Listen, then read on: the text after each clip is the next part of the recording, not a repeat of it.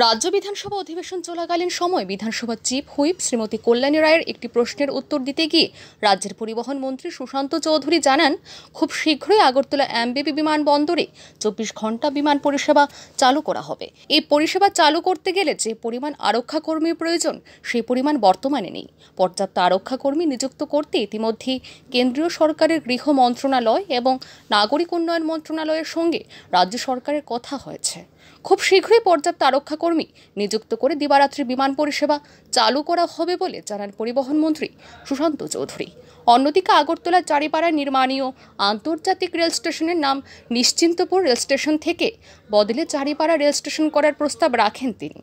তিনি জানান, স্থানীয় নিবাসীদের দাবি অনুযায়ী নিশ্চিন্তপুর এলাকা ও স্টেশন থেকে পাঁচ কিলোমিটার দূরে।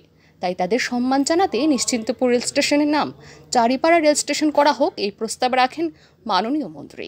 শ্রীমতী কল্যাণী রায় মহোদয়া যে রেফারেন্স এনেছেন, এটা একটা বহু চর্চিত বিষয় এবং বিভিন্ন সময় সংবাদপত্রে এটাকে নিয়ে বহু আলোচনাও হয়েছে।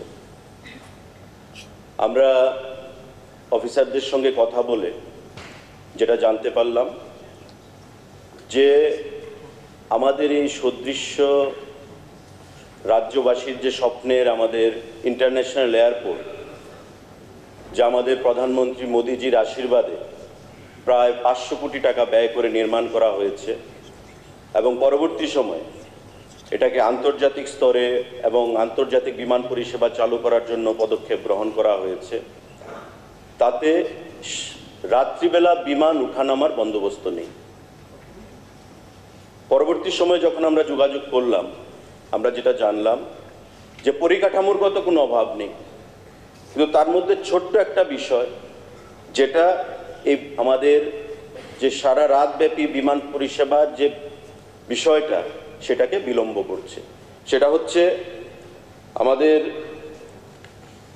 সিকিউরিটি পার্সোনালস প্রয়োজন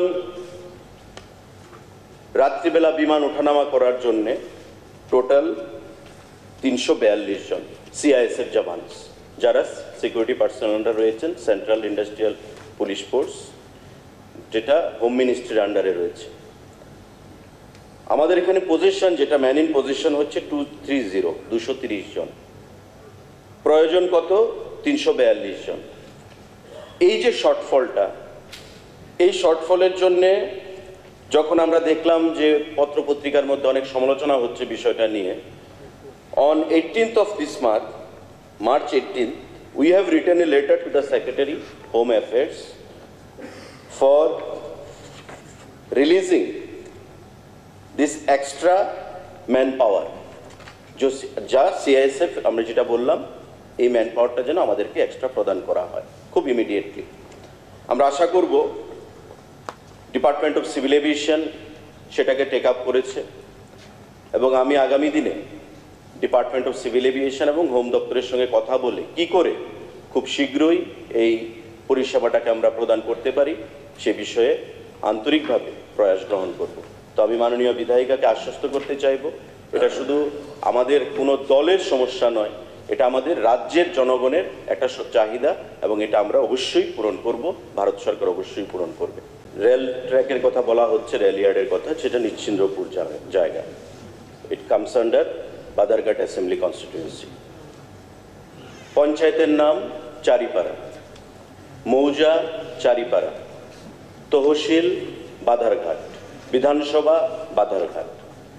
আমরা যখন মিটিংয়ে বসলাম গিয়ে, প্রায় পাঁচ থেকে সাতশো এলাকাবাসী ছিলেন, প্রধান থেকে শুরু করে বিধায়িকা ছিলেন প্রত্যেকের সামনে তারা একটাই দাবি করেছে যে আমাদের এই ক্যানেলটা আপনারা তৈরি করে দিন, আমাদেরকে বাঁচান। তৎসঙ্গে আমাদের মনে হয় আমরা গরিব মানুষ, আমাদেরকে একটু অপমান করা হচ্ছে। তা আমি জানতে চাইলাম যে কীভাবে অপমান করা হচ্ছে। তখন ওনারা সবাই খুলে বললেন যে দেখুন, আমরা চারিপাড়ার বাসিন্দা বাদারঘাটের বাসিন্দা। রেল স্টেশনের নাম দেওয়া হচ্ছে নিশ্চিন্তপুর নিশ্চিন্তপুর আমাদের এই এলাকা থেকে পাঁচ কিলোমিটার দূরে বা চার কিলোমিটার দূরে অবস্থিত।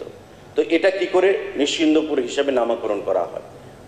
আপনার মাধ্যমে আমরা চাইব সবার সাথে কথা বলে যাতে এই স্টেশনটাকে চারিপাড়া স্টেশন হিসেবে, কারণ পঞ্চায়েত চারিপাড়া, মৌজা চারিপাড়া, বিধানসভা বাধারঘাট। তো স্বাভাবিকভাবে নিশ্চিন্দপুর নো ওয়ে কোনোভাবেই সিনের মধ্যে নেই।